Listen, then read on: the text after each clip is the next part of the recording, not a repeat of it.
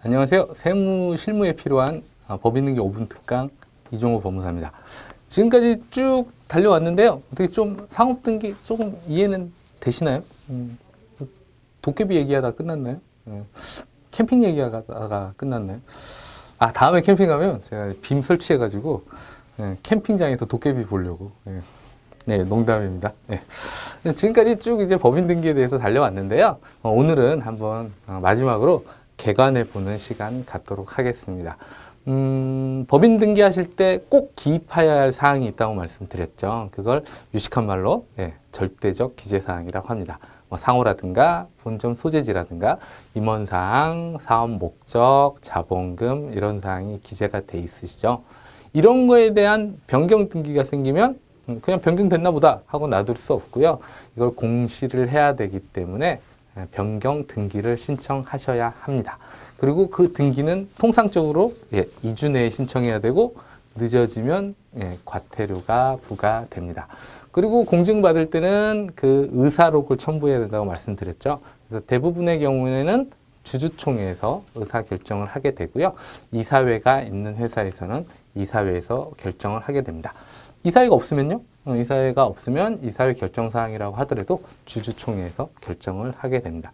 대부분의 회사는요, 오히려 이사회가 없는 회사가 훨씬 많습니다. 어, 그래서 이사회는 이사가 세 분 있어야 되는 회사이기 때문에 대표자 한 명이라든가 아니면 대표이사, 사내이사, 뭐 감사 이렇게만 구성되어 있는 경우에는 이사회가 없겠죠. 그때는 예, 주주총회에서 결의를 통해서 음, 변경 등기를 하시게 됩니다. 어, 이러한 변경 등기는 저번에 말씀드린 대로 주주들이 손잡고 등기소 가서 이렇게 신청할 수는 없기 때문에 어떻게 해요? 네, 공증을 받게 됩니다. 그래서 공증 사무실에서도 음, 그걸 공증 받아서 그 서류를 신청서에 첨부해서 제출하시게 됩니다. 제출하실 때 이제 주의하실 점은요. 어, 아까 말씀드릴 때 이제 두부 주시면 그중 원본을 제출하시고 사본은 회사에서 보관하시면 되고 만약에 행정관청이나 이런 데서 원본을 원한다. 어, 그리고 만약에 등기소에도 제출할 사항이 있다 하시면은요.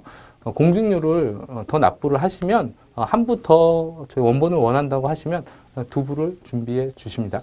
그래서 신청서를 접수를 하게 되면요. 통상적으로는 한 3일 정도? 이틀, 3일? 어, 좀 바쁜 시기에는요, 뭐, 어, 화성 같은 경우에는 아마 그쪽 인구가 많아졌는데 등기소가 아직 그 인원을 수용하지 못해서 그러는지 심지어 일주일 이상 걸리는 경우도 허다합니다. 그래서 저희끼리도 어, 화성에서 등기할 때는 어, 시일이 오래 걸리니까 의뢰인 분들한테 그걸 많이 말씀을 드리거든요. 그래서 하지만 통상적으로는 한 3일 정도 그 정도 되시게 되면 등기가 완료되게 됩니다. 만약에 등기 완료되신다면요. 어, 그 이후에는 이제 법인 등기부등본을 첨부해서 사업자 등록증을 변경하신다든가 그리고 상호가 변경됐을 때는 어, 인감 개인 신고가 틀려진다고 말씀드렸죠. 그렇게 되면 어, 법인 인감 카드를 변경하신다든가 대표자가 변경되시면 어, 그 대표자 원래 인간카드도 그 대표자를 표상하는 거기 때문에 대표자가 변경되시면 인간카드를 변경한다든가 이런 후속 조치를 취하시게 됩니다. 그리고 신청한 사항에 수정할 사항이 있으면 등기관이 자기네들이 마음대로 이렇게 알아서 친절하게 예, 수정을 해주는 게 예, 아니죠. 예, 그래서 보정을 하게 됩니다. 그래서 보정을 하게 되면 저희가 가서 예, 어, 미비한 사항을 보정하게 되면 그 다음에 등기가 완료가 됩니다. 근데 보정하실 때 그 조금 서두르셔야 되세요. 뭐 바쁘다고 한 며칠 안 가시고 하시면 간혹 그 등기소에서 뭐 월말이나 이런 경우에는 예, 각하는 수도 간혹 있을 수 있기 때문에 되도록이면 수정하거나 변경할 사항이 생기시면 아, 바로 처리하시도록 예, 부탁드립니다.